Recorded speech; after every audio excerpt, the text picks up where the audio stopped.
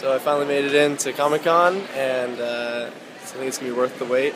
So I'll be showing y'all things that I see and enjoy as I go along. I hope y'all having a good day.